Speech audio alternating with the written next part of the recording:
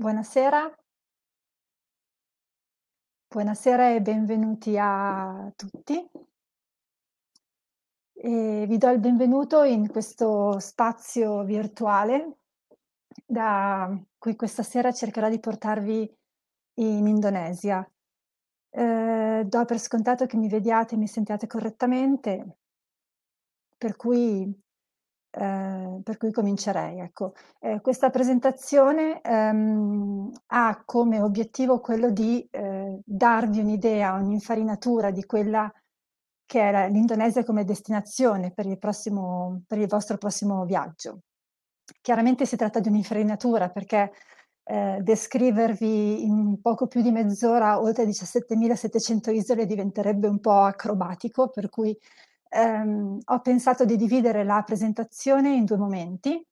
Il primo vi darò una serie di informazioni generali su quelli che sono gli elementi che le domande che tutti i viaggiatori mi fanno quando pensano a un viaggio in Indonesia. E la seconda, ehm, invece sarà un pochino più emozionale. Ho preparato per voi delle immagini, delle fotografie che vi mostrerò, ehm, per darvi un'idea di quello che effettivamente la destinazione può Sì, abbiamo Nuria dall'altra parte da Parigi che ci sta, ehm, assistendo, quindi ciao Nuria. Tolgo i capelli dal microfono. Mi presento, ehm, sono Laura e con la mia agenzia collaboro con mhmm, con Evaneos dal 2017. Ehm, l'agenzia esiste in realtà dal 2015, è nata tra il 2014 e il 2015. L'agenzia è basata a Giagiacarta, quindi sul sull'isola di Giava. È un'agenzia costituita principalmente da, ehm, operatori locali. Ehm, io ormai da circa 10 anni vado avanti e indietro dall'Indonesia, mi divido tra Indonesia e Italia. Ciao a tutti, vedo che state arrivando poco per volta. Ehm, quindi insomma la considero un po' la la mia seconda casa, mhmm, diciamo così, ormai non so più qual è la prima e qual è la seconda, comunque. Ehm, andiamo avanti. Ehm, sicuramente alcune delle informazioni più importanti da sapere è quando partire, quindi mi chiedete quando possiamo andare in Indonesia. Uhm, allora in Indonesia ormai ci si va tutto l'anno. È diventato veramente complesso, tra l'altro, come poi avrete visto voi stessi, ma anche nella nostra quotidianità in Italia o da città in cui mi mi state guardando, è stato è diventato veramente complesso dare delle indicazioni climatiche precise. Quindi io vi darò delle informazioni generali, prendetele pure per buone, però sappiate che siamo un po' nelle mani del del caso, ecco. Anche perché l'Indonesia, essendo uno stato, ehm, molto ah, c'è anche Viviana, ciao Viviana. Ehm, essendo uno stato molto allungato, si estende pensate su 3 fusi orari, 3 diversi fusi orari, ehm, non ha una sola fascia climatica, ne ha ben 3, una equatoriale, una subequatoriale e una, più tropicale.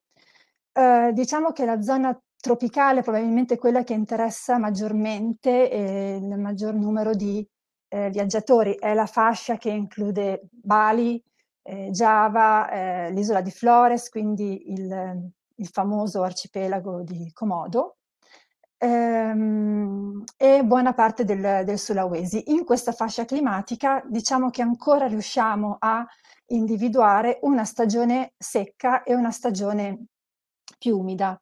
La stagione secca è quella che va da fine aprile-maggio fino a ottobre. Questo sulla carta, perché ad esempio abbiamo avuto in passato viaggiatori tra novembre e dicembre che so stati contentissimi e io mi ricordo benissimo l'anno scorso, uhm, penso di aver di non aver visto la luce del sole in tutto luglio, quindi, ehm, non quest'anno, l'anno prima, quindi, ehm, queste diciamo però sono regole che generalmente funzionano. Ehm, nella nella successiva slide vedete un po' la fascia, ecco, quella che vi dicevo appunto, la fascia che la fascia climatica tropicale che include un po' tutte le località più, ehm, in interessate dal turismo, soprattutto dal turismo italiano. Uhm, poi, perfetto, vaccini. Allora, non sono, uhm, richiesti vaccini, non ci sono vaccinazioni richieste, ehm, obbligatoriamente. Uhm, poi tutti, tutti, tutti mi chiedete se c'è la malaria, se ci sono cose strane e pericolose. Ora, ehm, considerate l'Indonesia come un'area tropicale, per cui da tropico a tropico, ehm, esiste il rischio di malaria, esiste il rischio di dengue e cose di questo genere, insomma. Uhm, deontologicamente parlando, uhm, io non do consigli medici. Non vi posso consigliare cosa è meglio per voi. Vi consiglio sicuramente di ehm, viaggiare in queste zone, ma generalmente in una qualsiasi altra zona tropicale, con un buon repellente e magari potete coprirvi braccia e gambe o comunque la pelle eh, nelle ore successive al tramonto. Questa è una regola base fondamentale che comunque vi può essere utile in qualsiasi zona tropicale. Eh, per tutte le altre vaccinazioni che mi vengono chieste, ad esempio se mi chiedete se serve l'antitetanica, il vaccino contro l'epatite, io vi rimando al vostro medico. Non conoscendo la persona che ho di fronte, non conoscendo lo stato di salute della persona che mi contatta, ehm, io non posso fare altro appunto che eh, rimandarvi a persone sicuramente più competenti che vi, e che conoscono meglio il vostro stato di salute. Io posso solo dirvi che in tutti questi anni che ho viaggiato eh, in Indonesia, che sono stata in Indonesia, ehm, non mi sono mai vaccinata, però è stata una mia scelta e per il momento tutto bene. Eh, il visto, il passaporto. Il passaporto chiaramente è il documento richiesto per l'ingresso nel paese. Um, assicuratevi di avere un passaporto valido.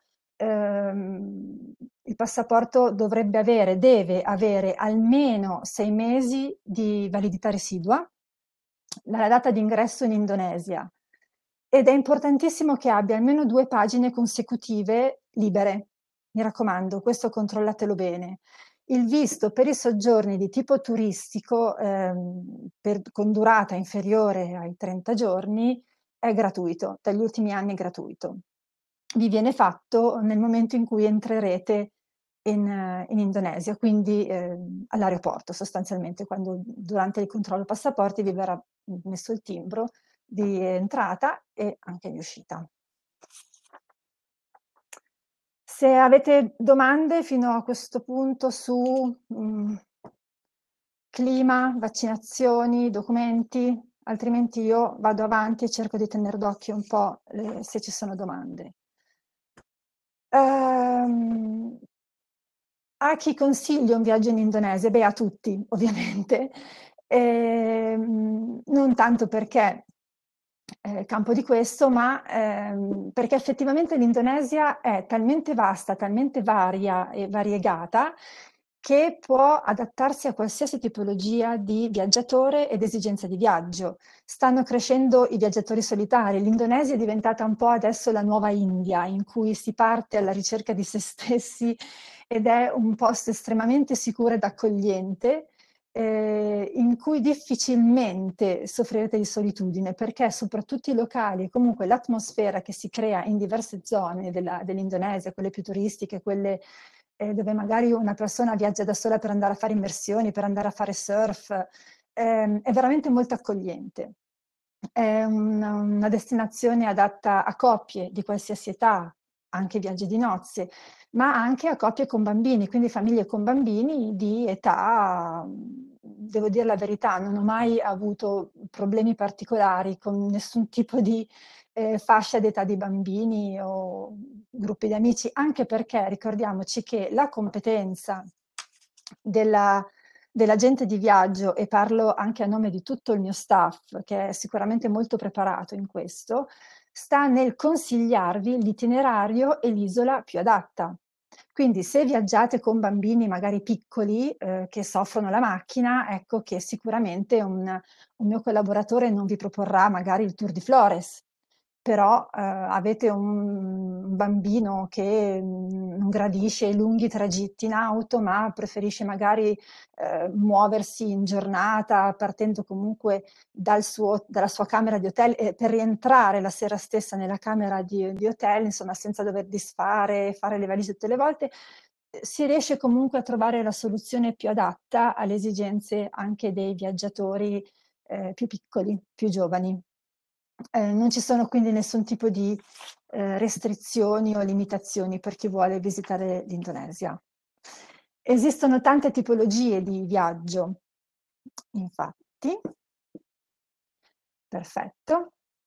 E ci sono i tour organizzati, quindi tour veri e propri, guidati, eh, con guide che parlano anche italiano, inglese, si riescono a trovare vabbè, anche guide che parlano francese, insomma non ci, sono, non ci sono grosse problematiche da questo punto di vista se non eh, la, la cosa fondamentale del prenotarle con largo anticipo. Considerate che sull'isola di Java ci sono 10 guide parlanti italiano, 10. Eh, per cui capite che per chi ha eh, l'esigenza di avere un tour guidato assolutamente in lingua italiana, il suggerimento che do è prenotate con largo anticipo per assicurarvi appunto la disponibilità. Ehm, soggiorni mare, chiaramente ci sono tanti, tante isole che si prestano a un soggiorno mare più o meno dinamico, poi vedremo più avanti anche alcune diverse tipologie di isole ehm, il combinato tra più isole, se avete la possibilità, se avete il tempo a disposizione, un budget anche a disposizione, eh, sicuramente il combinato tra più isole è la uh, soluzione più carina, che vi consente di eh, vedere più destinazioni. Considerate che l'Indonesia è costituita esclusivamente da isole eh, ben collegate tra loro, ma occorre dedicare tempo agli spostamenti. Eh, sicuramente il combinato più venduto e più, più apprezzato è la, il tour di Java con eh, soggiorno a Bali, che non è solo un soggiorno a mare, ma può essere anche un soggiorno con dei tour organizzati in loco giorno per giorno. E, ehm, poi magari il soggiorno mare, oppure ecco un combinato Bali più le isole Gili, le famose, gli famosi atolli corallini di Lombok. Ehm, ecco, ultimamente stanno, stiamo ricevendo tante richieste per, per, viaggi anche un pochino più dinamici, quindi persone che vanno a Lombok, vanno a eh, Bali per fare surf, chiaramente altissima richiesta di viaggiatori che cercano eh, posti meravigliosi per fare immersioni. L'Indonesia, non dimentichiamo che è sicuramente una delle destinazioni principe, un paradiso per chi ama le immersioni, quindi per i subacquei. Um, e anche qualche richiesta sul trekking, magari passeggiate sui vulcani, passeggiate anche più tranquille, abbiamo diverse possibilità di trekking per diversi livelli di preparazione. Per darvi un'idea, eh, per darvi un'idea, mm, indicativamente il prezzo medio dei voli chiaramente cambia molto da alta e bassa stagione, e cambia molto eh, anche eh, se si arriva, se si decide di arrivare a Giacarta, cosa indispensabile perché decide di fare eh, il tour di Java. E, ehm, Francesco, ti rispondo subito. E, ehm, e ba a Bali chiaramente i prezzi sono in media un po' più alti, sia nella bassa stagione che per l'alta stagione. Anche in questo caso il consiglio che vi, vi, posso dare è di prenotare con molto anticipo. Eh, considerate che un volo su Bali eh, acquistato, ahimè, a giugno-luglio, per un viaggio in, il classico viaggio in agosto, è capace di costare anche 1500 euro. Quindi eh, cosa che non succede se lo prenotate tra febbraio e marzo, per capirci. Quindi questo sicuramente è una, una variabile da tenere in grande considerazione. Non esistono voli diretti, tutti i voli hanno uno scalo, le compagnie che eh, volano in, uh, sull'Indonesia sono veramente da, tantissime ormai e anche di ottima qualità. Ne cito alcune, giusto per darvi un'idea, Emirates, Qatar, eh, ha cominciato anche la Turkish, che tra l'altro permette di partire da tantissime città d'Italia, ehm, Singapore Airlines, cioè, non ci sarà mai, diciamo, il rischio che non troviate un volo per l'Indonesia. Il volo per l'Indonesia si trova, è solo questione di quanto siete disposti a pagarlo.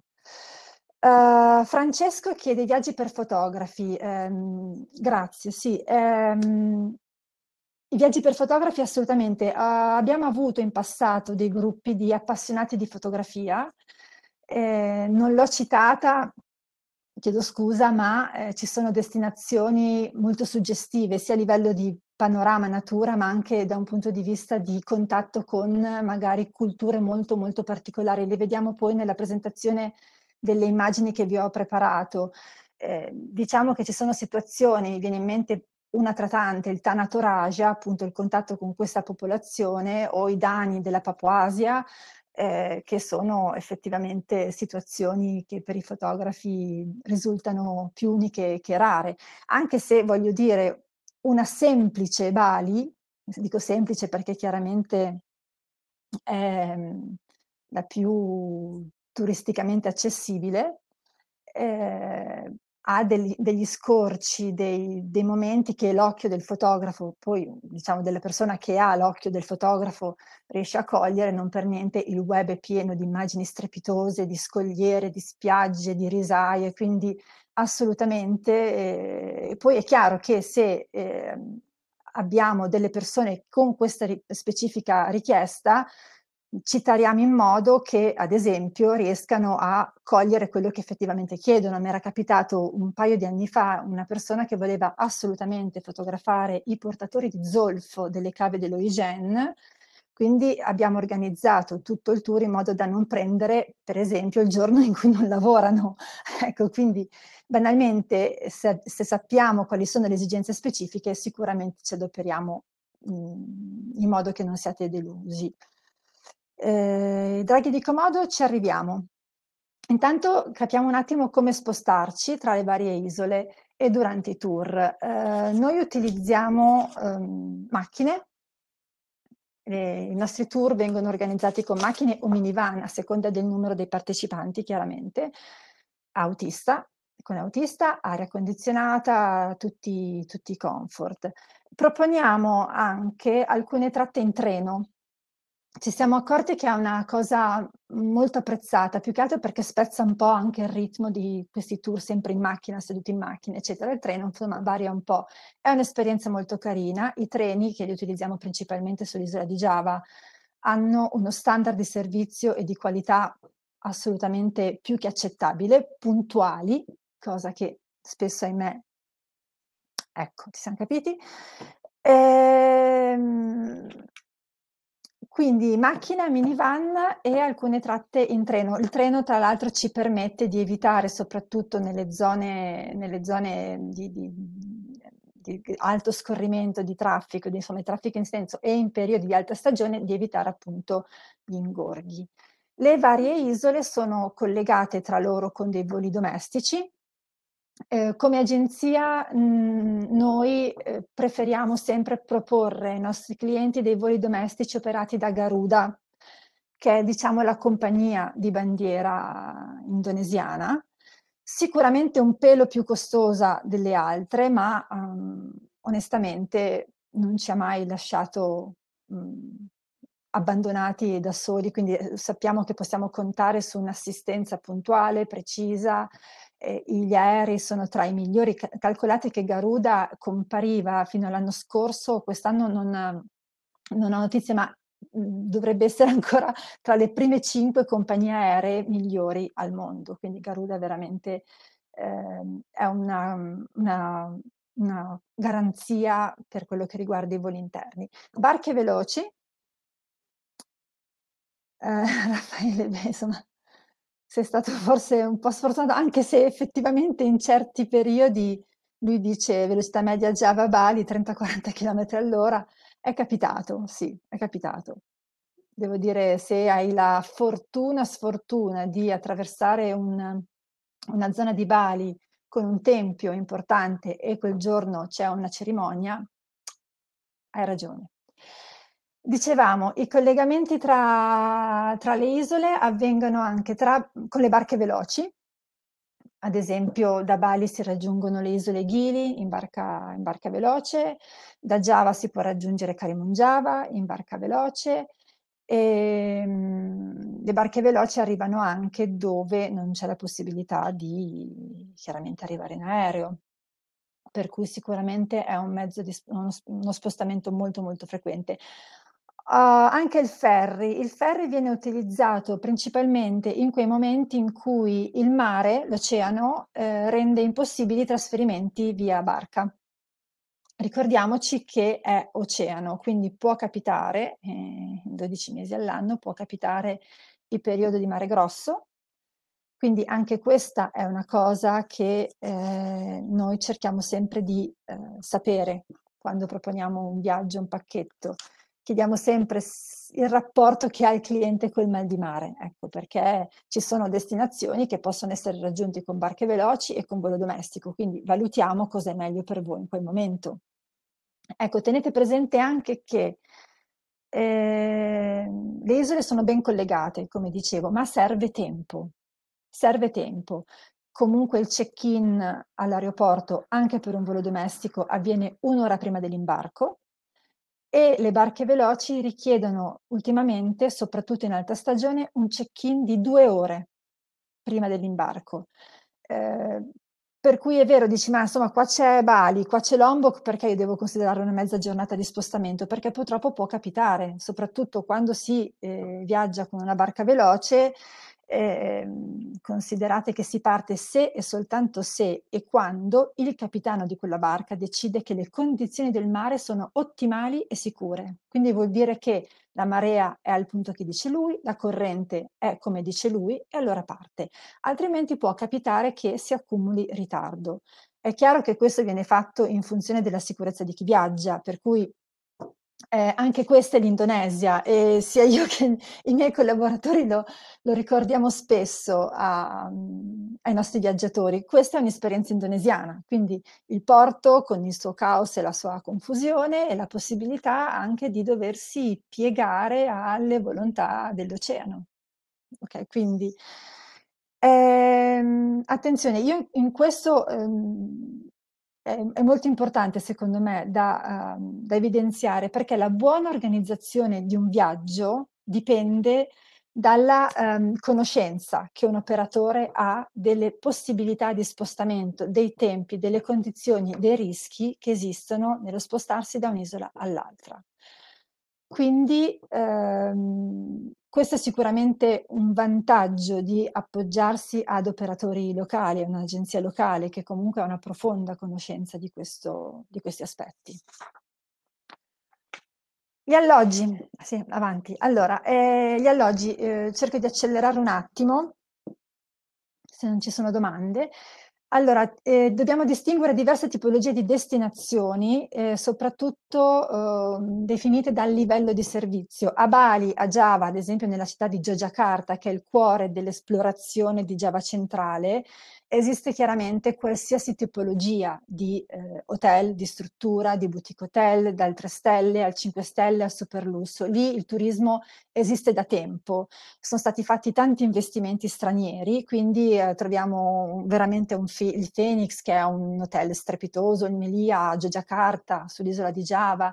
A Bali troviamo strutture da sogno immerse nella giungla con queste piscine a sfioro che avrete visto sicuramente in 1000 documentari.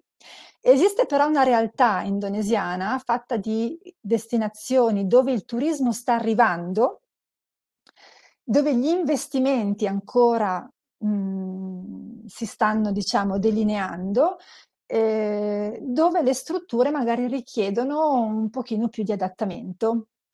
E lasciatemi dire che è anche una cosa, mhmm, molto apprezzata dal viaggiatore, che si trova magari in una stanza dove non c'è un armadio decente, in alcune zone mi viene ad esempio in mente Flores, il parco marino, dove le strutture non hanno né aria condizionata né acqua calda ancora. È chiaro che anche in questo caso um, noi conosciamo personalmente e direttamente tutte le strutture che proponiamo, quindi sappiamo dirvi che cosa vi potete aspettare da quell'hotel e magari non da quell'altro. Nell'area del Bromo, ad esempio, collaboriamo da tanti anni con questo lodge che non vede un rinnovo, credo, dagli anni 60. Però ti svegli la mattina, vai a far colazione e sei sulla caldera del Bromo. Quindi eh, sono cose che mh, mm, sì, terremoti. E qua intanto vi faccio vedere eh, l'Hanging Gardens di Wood per darvi un'idea di quello che ho detto prima. Eh, quindi un, un, super lusso di Wood, eh, prezzi strepitosi da, da capogiro e mh, mm, tra l'altro una cosa molto, un'altra tipologia di struttura che sta arrivando eh, sono gli ecologgi, gli ecoresort.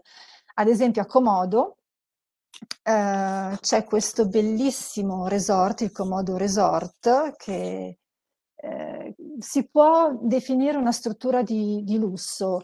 È un ecologico, quindi è costruito seguendo determinate caratteristiche di eh, sostenibilità. Per esempio, quando arrivate, il personale vi fa un brief eh, chiedendovi la cortesia di non, ad esempio, utilizzare lo sciacquone del water, viene fornito un bidone con acqua del mare, eh, viene fatto tutto un processo di riciclaggio, lì l'acqua è un bene preziosissimo perché non c'è l'acqua sull'isola, quindi viene portata quotidianamente con barche molto lente che quindi impiegano quasi un giorno per arrivare a, a questa, questa, bellissima isola che è Sebayur.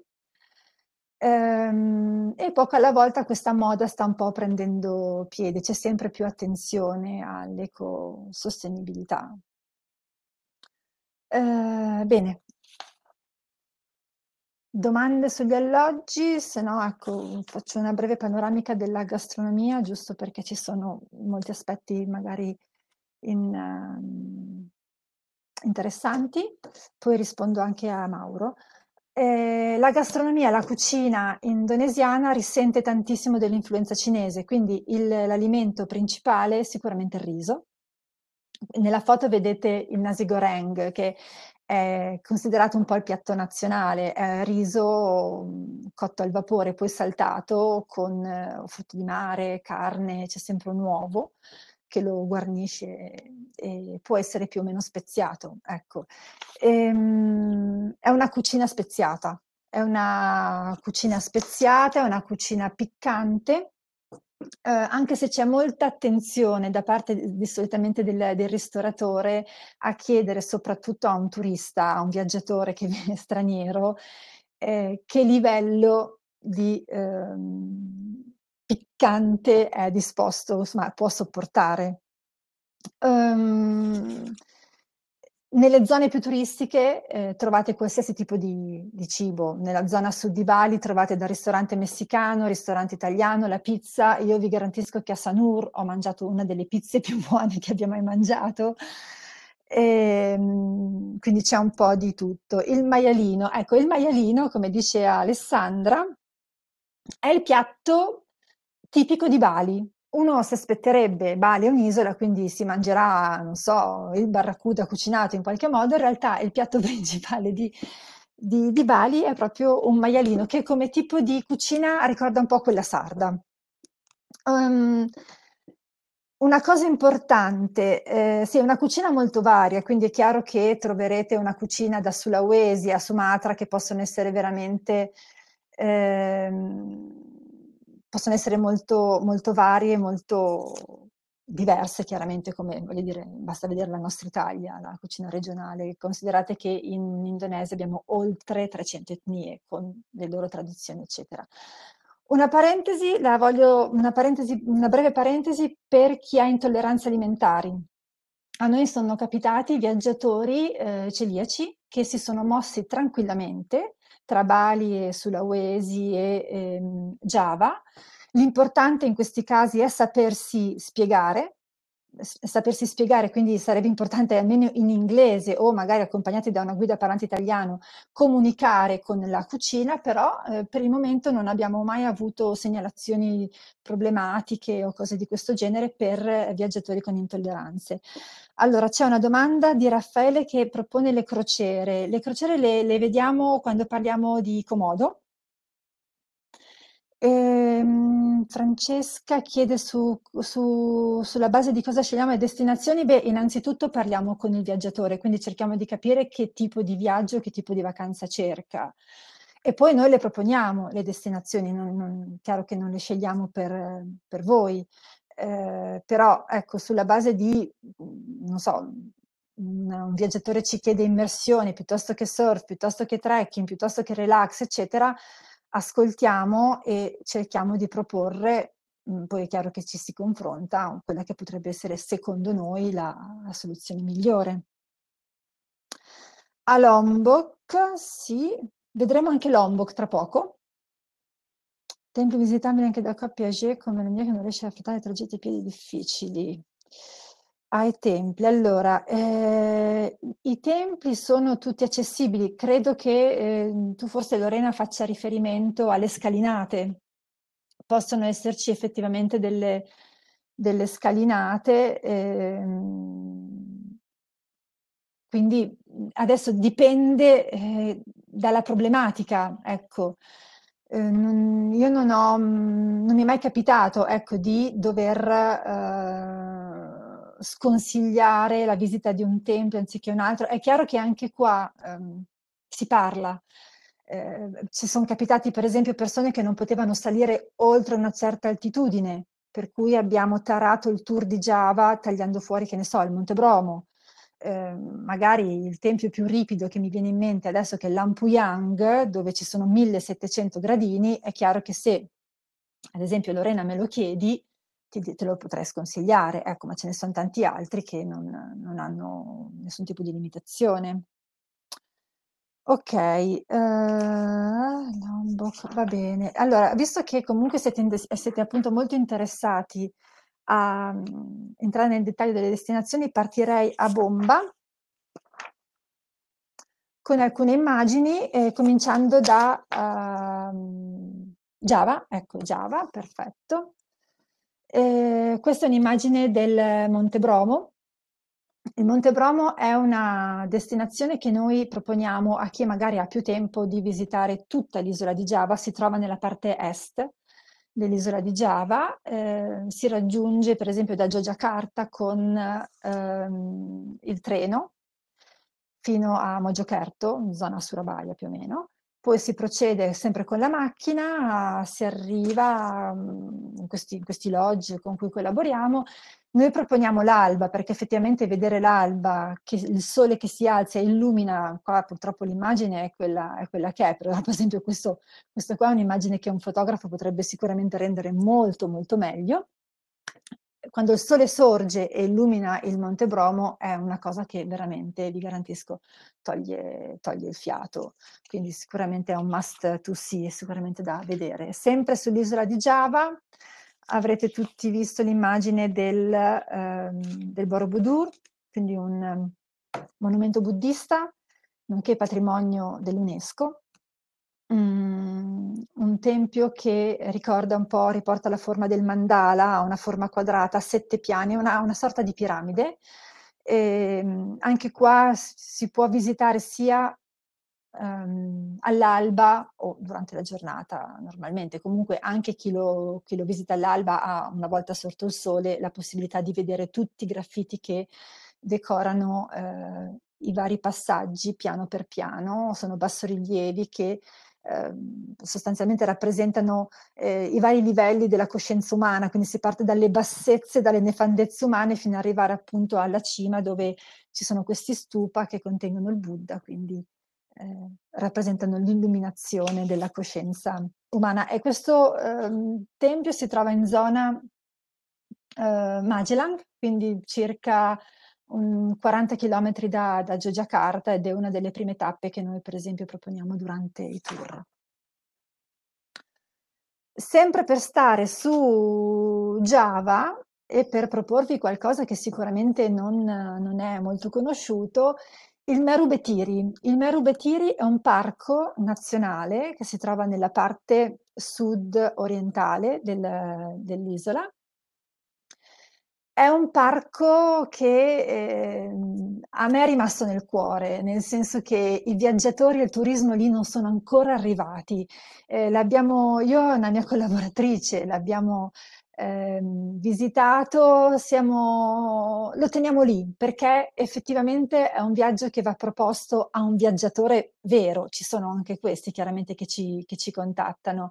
Si parla di 7, 8 ore di, ehm, jeep nella giungla, quindi situazioni impegnativi, guadi di fiume, ehm, sicuramente, ehm, cose molto avventurose. Poi si arrivano si arriva queste da questi ranger che sostanzialmente vivono la loro vita prendendosi cura delle uova di tartaruga, per questo c'è questa immagine di questa tartarughina, perché una delle esperienze più belle che, se si è fortunati, si può fare a Meru Betiri è vedere la schiusa de delle uova e quindi queste tartarughine che corrono verso, ehm, il il mare, ecco. È un viaggio sicuramente che richiede voglia di esplorare, ecco. Però si arrivano si arriva in posti talmente remoti, ecco, questo è un'idea di, ehm, come come si arriva a queste sistemazioni molto basiche, sicuramente molto, molto ehm, molto semplici. Da si può procediamo pure con le le immagini. Mhmm, una destinazione che è stata definita un po' un astro nascente delle destinazioni indonesiane è l'arcipelago di Karimunjawa. Si trova a largo della costa nord di di mhmm, di Giava. Giava vi ricordo che ha una forma, mhmm, allungata, quasi orizzontale, per cui per costa nord, chiaramente intendo la parte ad esempio di fronte a Semarang. Da Semarang infatti possono partire anche i collegamenti a questo arcipelago. Ehm, sono isole è un un arcipelago, diciamo, reso famoso da un resort, che è quello che vedete lì in arrivo, l'abbiamo fotografato dalla barca. Ehm, lì effettivamente vedete l'acqua, il soggiorno mare è una cosa sicuramente, ehm, suggerita e consigliata. Tuttavia, ehm, il grosso dell'arcipelago l'arcipelago vero, quello abitato dalla popolazione, è leggermente più spostato verso uhm, verso, ehm, nord nord-est, e sono isole più grandi, le strutture abbiamo un paio di strutture effettivamente che mi sento di consigliare per un ottimo livello di servizio. Ehm, sono isole che però non hanno quella spiaggia che magari è nell'immaginario di qualcuno che cerca una destinazione tropicale. Sono isole che vanno vissute sulla strada, nel senso esplorate in lungo e in largo, ma soprattutto in barca.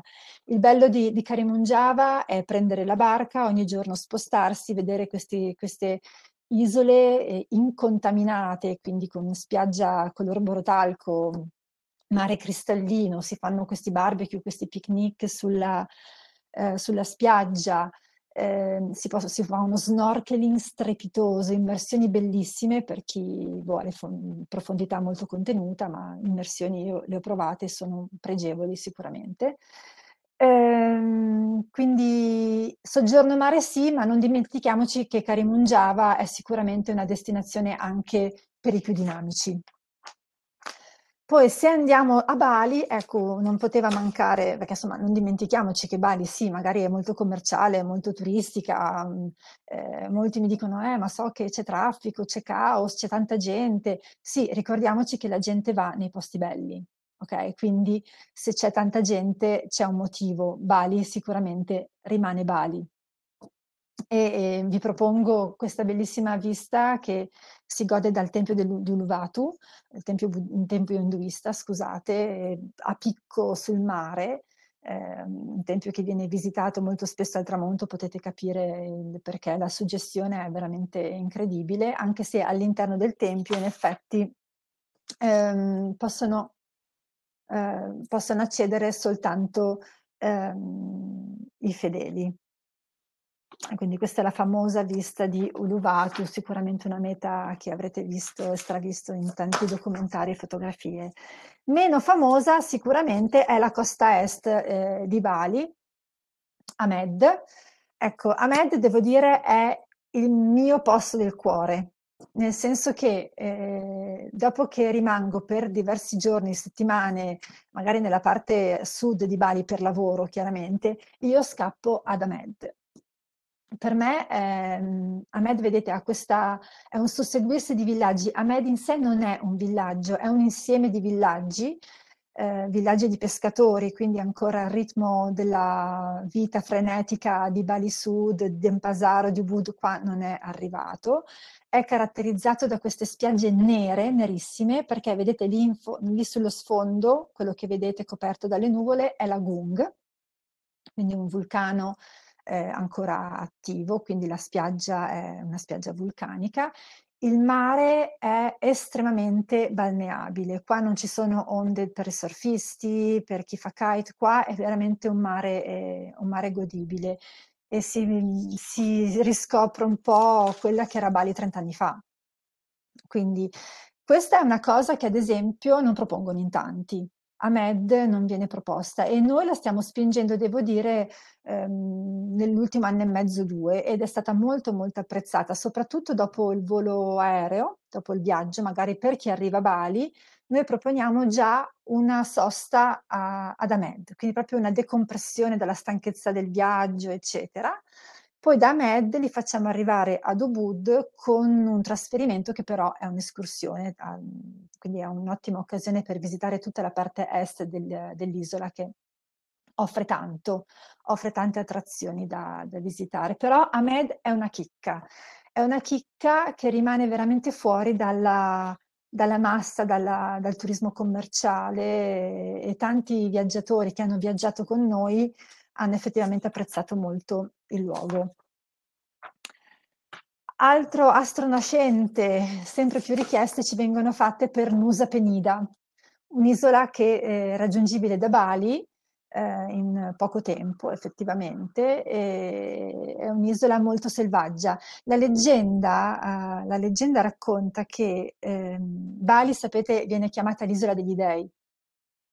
Quindi la leggenda racconta che tutti i demoni cacciati da Bali perché era diventata l'isola degli dei, si siano rifugiati a Nusa Penida. Quindi Nusa Penida eh, deve questo suo aspetto brullo, bruciato dal sole, molto selvaggio, molto duro, eh, proprio a questi demoni che nel corso dei secoli hanno alloggiato e risiedono tuttora su questa, su questa isola. Questa isola io personalmente non la consiglierei per un soggiorno mare, anche questa è un'isola che va, uh, va girata, va vissuta, dei panorami mozzafiato, spiagge effettivamente eh, molto, molto belle, molto suggestive di spiaggia bianca, però come vedete non facili da raggiungere, sono tutti percorsi molto impegnativi, a parte Crystal Bay che è piuttosto comoda da raggiungere anche in macchina, in motorino, qualsiasi cosa. Ehm, è un'isola che, che, va capita e va vissuta in un certo modo. Eh, anche questo è compito nostro, trasmettervelo, per cui una volta che noi riusciamo a trasmettervi quello che Nusa Penida può offrirvi, mh, sarete poi in grado di scegliere se è un tipo di vacanza che vi può eh, piacere, piacere um, o meno. Ecco, questa che vedete sicuramente è la più famosa, viene chiamata la T-Rex Beach, proprio per la forma della, eh, del promontorio.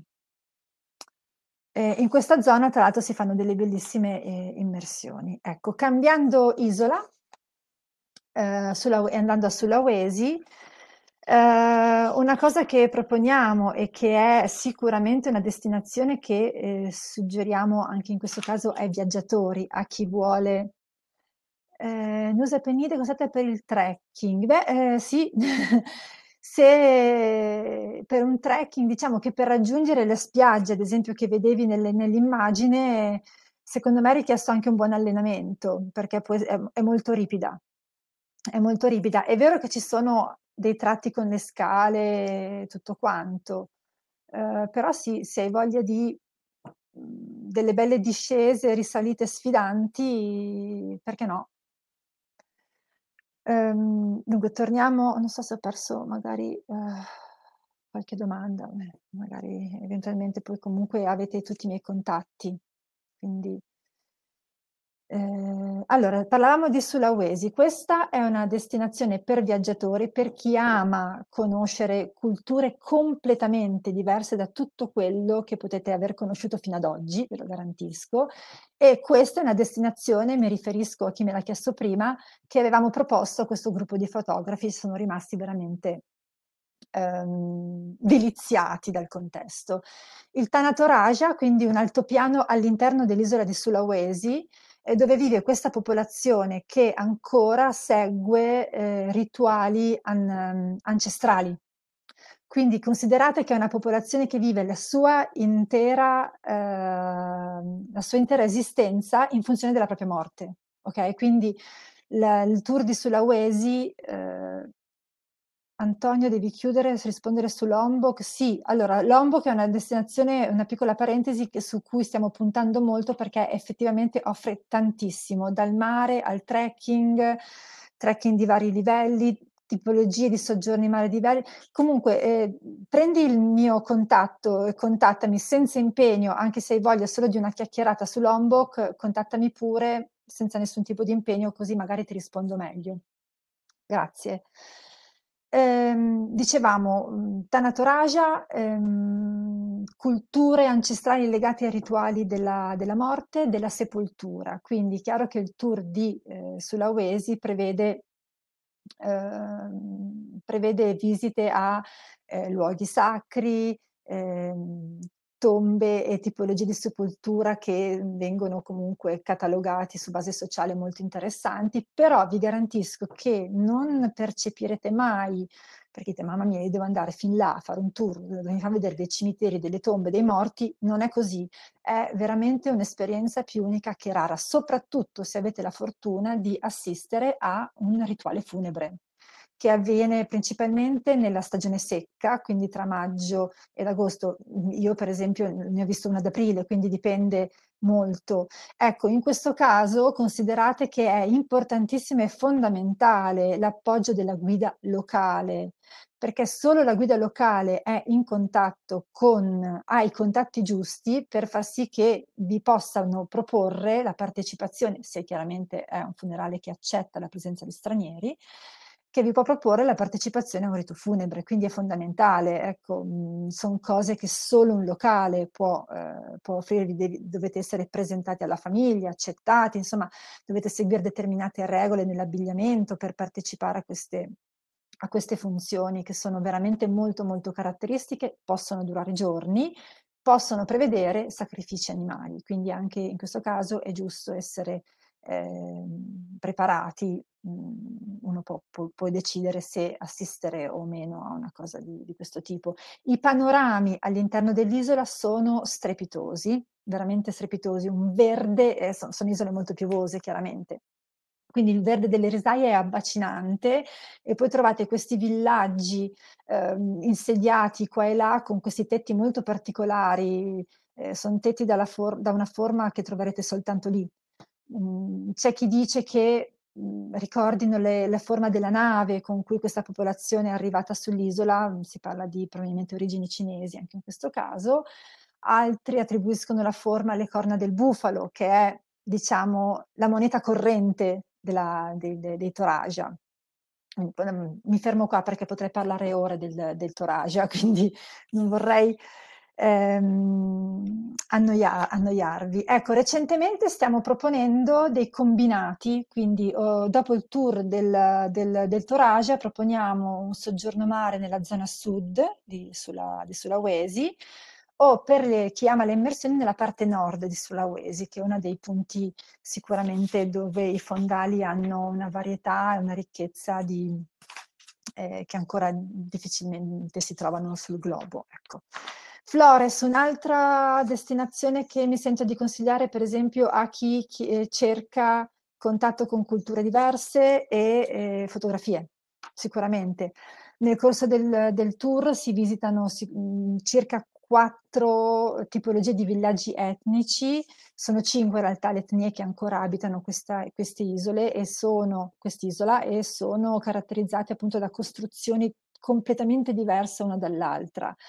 Anche in questo caso l'ascolto di quello che ha da raccontarvi la guida locale è fondamentale, perché eh, ogni villaggio ha delle leggende, dei riti, delle magie che effettivamente soltanto ascoltarli da una persona del luogo può trasmettervi le giuste, le giuste emozioni. A Flores trovate poi i famosi laghi Kilimutu, quei, laghi, quei tre laghi vulcanici di tre colori diversi, non potevo mettere tante foto, per cui per darvi giusto eh, un'idea di quello che vi aspetta a Flores, sì, anche perché stiamo un po' andando fuori tempo.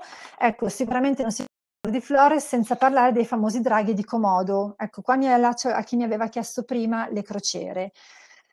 Allora, ci sono crociere che coprono l'intero Nusa Tenggara, quindi partono da, da Bali o da um, Lombo che arrivano fino a Rajampat, quei famosi velieri che sicuramente avrete visto. Sono crociere di elite, costi esorbitanti, esperienze indimenticabili per chi può permetterselo, durano da dieci giorni anche a tre settimane e arrivano proprio fino a Rajampat. A Comodo proponiamo delle mini crociere con imbarcazioni locali che ehm, fanno, toccano alcune delle isole principali dell'arcipelago, tra cui appunto l'isola di Comodo e di Rincia, dove è possibile avvistare ancora i, i draghi, questi famosissimi draghi che sono creature, alcune delle creature più antiche della, del, del, del, mondo, almeno si trovano soltanto in queste eh, due isole e sono strettamente seguiti e controllati per evitarne l'estinzione. Uh, si parla della possibile chiusura o diciamo la riduzione degli accessi a Comodo, però devo dire che onestamente la cosa non ci preoccupa perché eh, è possibile comunque dirottare le visite dei draghi su Rincia e poi come dimostra la prossima immagine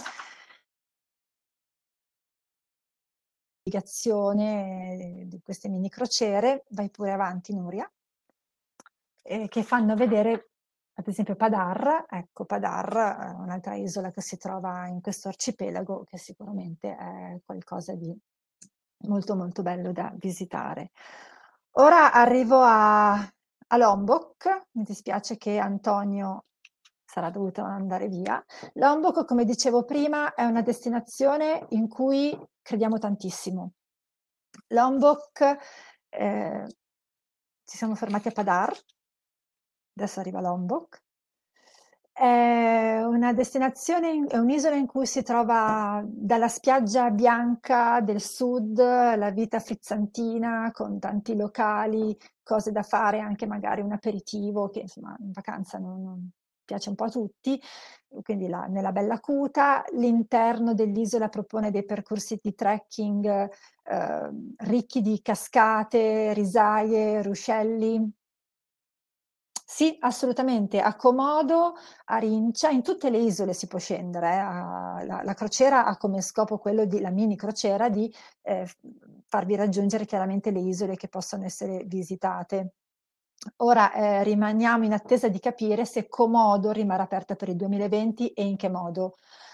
Eh, purtroppo stiamo ancora aspettando l'insediamento del governo. Dopo che il governo fa, sarà finalmente insediato riusciremo a sapere il nostro futuro su Comodo.